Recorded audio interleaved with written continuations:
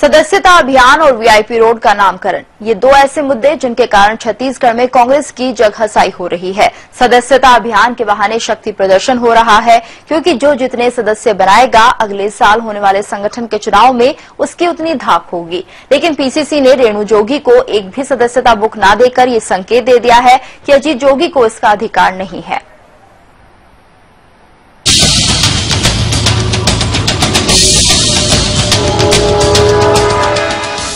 छत्तीसगढ़ कांग्रेस में दो लड़ाके ही बचे हैं, अजीत जोगी और भूपेश बघेल। फिर खिंच गई हैं दोनों के बीच तलवार। मुद्दा यह है कि अकेले जोगी कांग्रेस के लिए पाँच लाख नए सदस्य कैसे बना सकते हैं? कुछ पुरानी बातें याद दिलाकर जोगी और उनके परिवार को आईना दिखाया जा रहा है। पीसीसी ने पुराना हिसाब किताब देखकर उनकी विधायक पत्नी रेणु जोगी को सदस्यता बुक देने से मना कर दिया है। 2004 और 2008 में भी उन व्यक्तियों के द्वारा एक भी सदस्यता अभियान नहीं चलाया गया। आज अचानक इतना प्रेम क्यों बढ़ गया? मिसेज जोगी को डेढ़ सौ दिया गया है जोगी जी को डेढ़ सौ दिया गया है, वो पटेल जी के समय से दिया गया है, और पीसीसी से दिया गया है, वो पुस्तकें आज तक जमा नहीं की गई। जग हंसाई से बचने के लिए बतौर पीसीसी अध्यक्ष बघेल ये बात निजी तौर पर जोगी से चुपचाप कह सकते थे। सवाल ये भी है कि मोहम्मद अकबर जब सवा छह लाख और एजाज ढेबर साढ़े पाँच लाख सदस्य बनाने के लिए पीसीसी से सदस्यता बुक मांग रहे हैं तो उनके नाम पर हल्ला क्यों नहीं मच रहा? खास बात ये कि सदस्यता अभियान के प्रभारी टी एस संघदेव हैं। हज़ारों की संख्या में सदस्यता बुक नहीं देने के पीछे पार्टी संविधान का हवाला दिया जा रहा है। सवाल ये है कि जिला और ब्लॉक लेवल पे ही सदस्यता अभियान चलाने की एक परंपरा है और ये आईसीसी के संविधान में भी उस प्रकार की बातें हैं। और एक लिमिटेशंस है, उसके आधार पर ही हम लोग जारी करते हैं।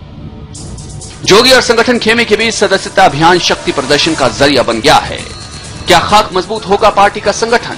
आपसे सिर्फ़ फटौवल की एक और बानगी देखिए। ये रायपुर का वीआईपी रोड है, जिसका नाम पंडित श्यामाचरण शुक्ल मार्ग करने को लेकर जोगी और शुक्ल परिवार आमने सामने आ गए। ढाई साल पहले शुक्ल फाउंडेशन ने नगर निगम को प्रस्ताव भेजा कि वो इसका नाम पंडित श्यामाचरण मार्ग करे। कांग्रेस की महापौर किरणमयी नायक की परिषद ने उसे पास भी कर दिया, लेकिन एन समारोह के बीच अजीत जोगी आ गए। कहा, राजीव गांधी के नाम पर रखी गई सड़क का दोबारा नामकरण क्यों किया जा रहा है? बात में दम था। जिला प्रशासन और पीडब्ल्यूडी ने भी अपना रिकॉर्ड निकालकर फाउंडेशन के अध्यक्ष अमितेश शुक्ल को चिट्ठी लिखी। कार्यक्रम तो रद्द हो गया, पर शुक्ल परिवार इसे बीजेपी की राजनीति मान रहा है।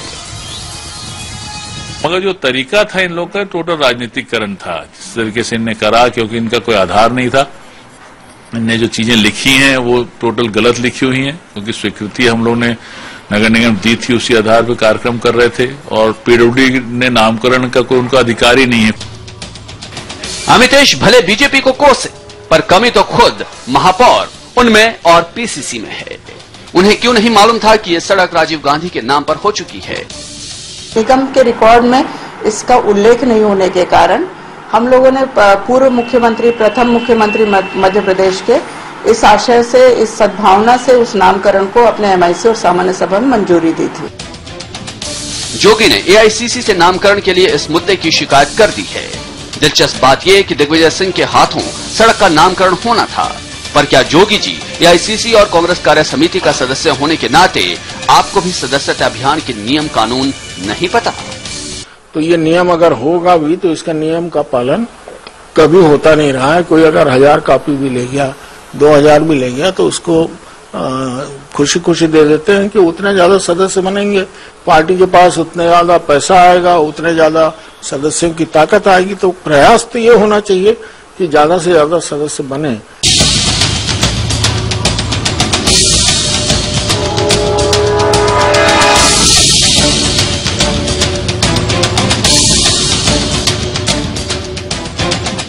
कहीं न कहीं नगरीय निकाय चुनाव में इसका खामियाजा पार्टी को भुगतना पड़ सकता है।